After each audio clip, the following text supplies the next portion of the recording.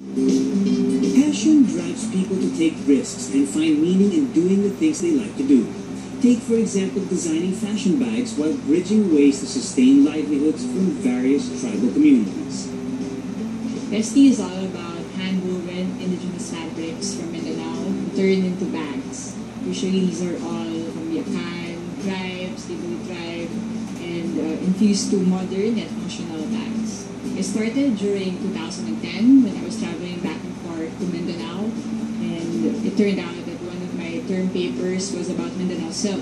So when I traveled back to that weaving house, I discovered there were a lot of fabrics that weren't sold, and I decided to make use of these fabrics and turn it into bags. I am Martha Rodriguez. I am the owner and designer of Vesti Bags. In Russian, Vesti means sending off messages. Likewise, Vesti Bags sends a message that promotes Filipino indigenous fabrics for modern fashion to preserve weaving traditions and uplift local craftsmanship.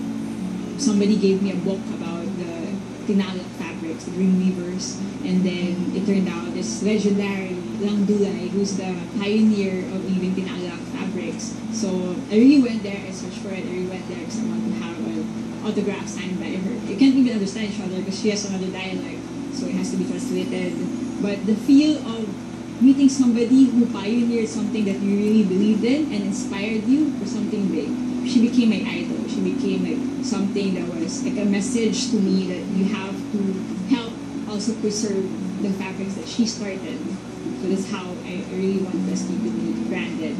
Each Vesti bag has the hero of fabrics from the different tribes in Mindanao. We are promoting such fabrics at the same time.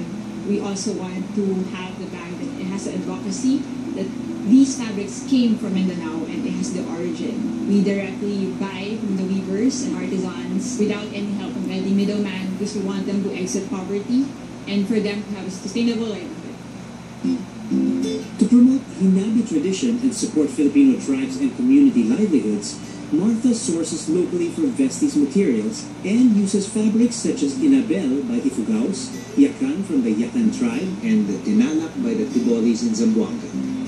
This is uh, what we call the Tinalak fabric from the Tibuli tribe. Usually it takes like around one to two months to have it woven.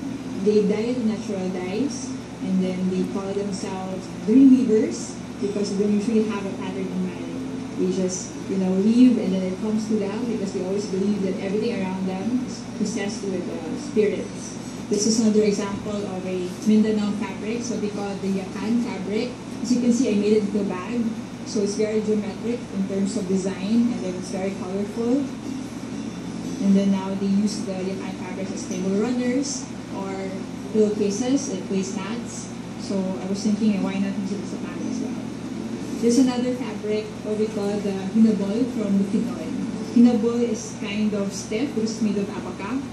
And it's also terms of design. So I infuse it with leatherette or leather to make it softer. This book was given by my dad because he knows that I'm into fabrics and then said that I should be inspired with this.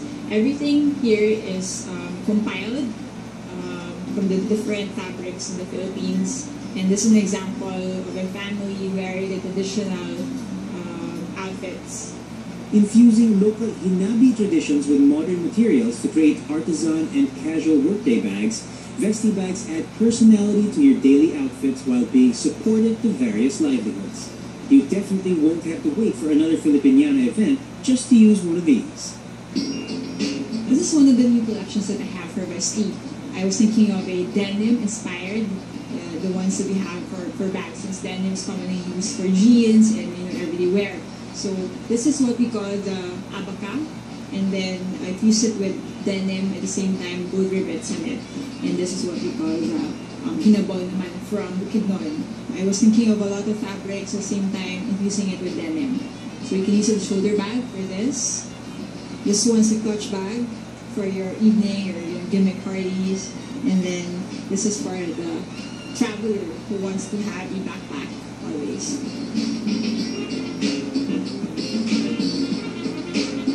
This collection is my design entries for Little Style Awards, which is last year, and I was one of the finalists for bags.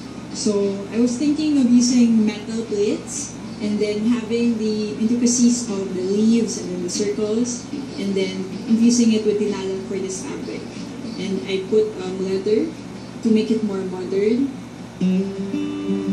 Intricately weaving these fabrics takes a whole lot of time. That's why Hinabi products may cost a bit higher than the usual. People always tell me that it's very expensive to begin with for a product. Well, um, for a fabric, we think about it, it takes around one month to two months to just weave a meter. So in terms of cost and design, you always have to think that it goes proportionally. So it's very expensive because it's very nice and then the quality is, you know, assured and guaranteed. And always the, the fabrics, you can't even see it or buy it elsewhere. Weaving fabrics has been the livelihood for local tribes for decades. However, due to lower market demand for these textiles and increase of workers' need for money, the Hinabi tradition is slowly dwindling. When I went to the Abay Weavers na Gintingan in Misamis Oriental, they were only around five weavers. They had hand looms with them, around five hand looms. So the issues were they could not sell the fabric agad-agad. So the money comes in in a later time. They'd rather go fishing or farming just to sell and get the money. So I was really talking to them that sayang kasi, kung sayang kasi, don't, don't uh, let it go. The, the talent, the creativity, and then their the generations kasi of creativity pass from one to another. That's been an issue. The younger generations, they would rather work in the cities than weave their own fabrics because they feel that it's easy money. Inspired to help Filipino livelihoods through her brand, Martha sources all materials, even Vesti bags packaging, in various communities across the Philippines. Vesti is really 100% Filipino made. Aside from the fabrics that I get from the different weavers in Mindanao, I also have it made in Marikina, where I have good working relationships with different suppliers and manufacturers. So everything is really made here and assembled here.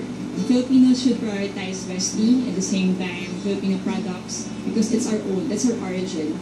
There's always an identity of who we are and we always have to come back to it as our root cause. It's um, a way of giving back to the community and a way at the same time preserving our weaving heritage and culture.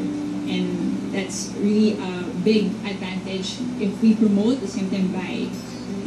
Helping promote local craftsmanship to a wider market, Martha joins exhibits, trade shows, and design contests to introduce Vesti bags to buyers.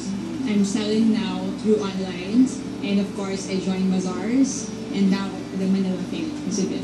We are also penetrating now the national scene. So Manila Fame was a good opportunity for us to showcase all these fabrics and for them to realize that, oh wow, we have all these fabrics from Mindanao, and we can also use as bags, you know, as apparel, clothes, not just as home furnishing, since in the traditional way, they always use it as placemats or table runners and pillowcases. So there's always a move to go beyond what is the traditional design.